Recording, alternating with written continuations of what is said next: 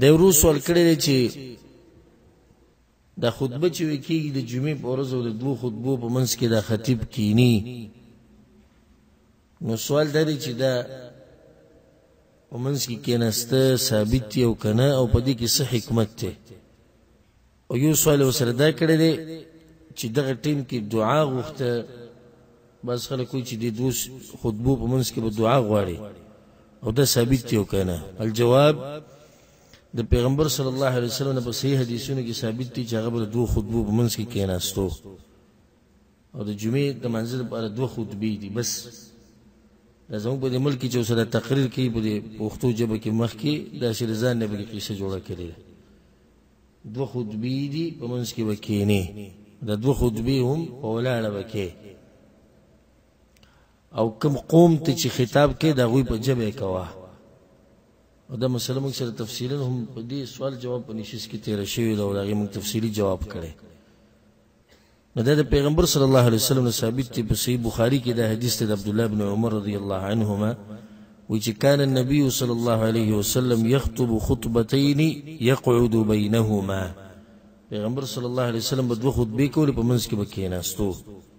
په صحیح مسلم کې دا حدیث دی د جابر ابن سموره رضی الله عنه وی چې کانت للنبی صلی الله علیه وسلم خطبتان یجلس بینهما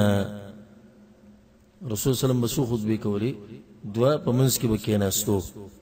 په سنن ابي داود کې دا حدیث دی د عبد الله بن عمر و چې کان النبي صلی الله علیه وسلم یخطب خطبتين پیغمبر صلی الله علیه وسلم به دوه خطبې کولې كان يجلس إذا صعد المنبر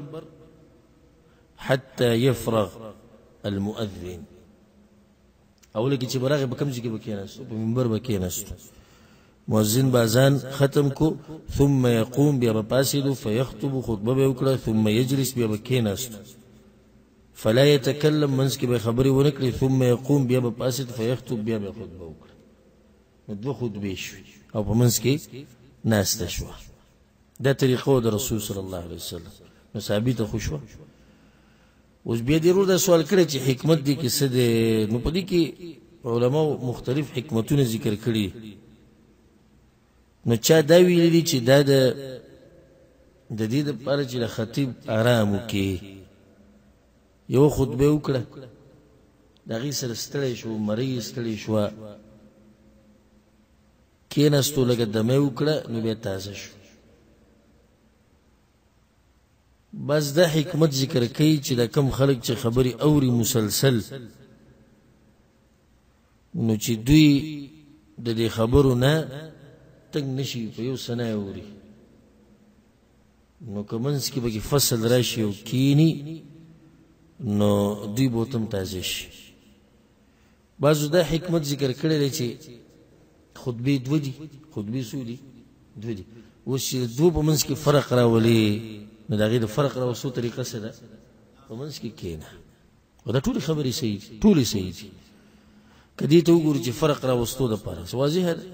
که دې ته وګورو چې خطیب ستړی شوی دی لږ دمه وکړي دا هم صحیح ده که دې ته وګورو چې د خلک په یو څه نه خبرې اوري او بیا به د خلکو تر تازه شي کدی لک کینی او صبر پکې وکړي دا هم صحیح نو دا پکې حکمتونه دي ول علم عند الله به دا سوال ضرور کوي چې خلکو چې دې ټیم کې دعاګانې غوښته د دوو خطبو په منځ کې دا څنګه دي د پیغمبر صلی الله علیه وسلم نه او د صحابه کرامو نه د دې دوه خطبو په منځ کې څه خاص دعا نه ده نقل خو بعضو علماو دا خبره ذکر کړې ده چې دا مستحب وخت دی ځکه چې یو حدیث کې دا راځي رسول صلی الله علیه وسلم وایي د جمعې په ورځ یو وخت دی چې دغه ټیم کې انسان د الله نه څه غواړي الله ولا ورکوي په دې کې بیا بېشمار اقوال دي د علماو په دې کې سخت اختلاف دی چې دا وخت کم یو دی خو په دې دواړو کې نږدې اقوال حق ته او هغه د اکثرو علماو دي هغه دا دي یو قول دا دی لکه په صحیح مسلم کې دا حدیث دی چې هي ما بین ان یجلس الامام الى ان تقضى الصلاه امام چې کله کینی په منبر باندې د مانزه د ختمېدو پورې دا هغه وخت چې دعاګانې پکې قبلېږي او دا واضح دلیل دی نو د خطبه په منځ کې خو ته دعاګانې نشي وخته ځان لته د امام خطبه باوري د خطیب خطبه باوري نو دغه په منځ کې فاصل له ټیم دی نو دغه کوي دعا وغواړه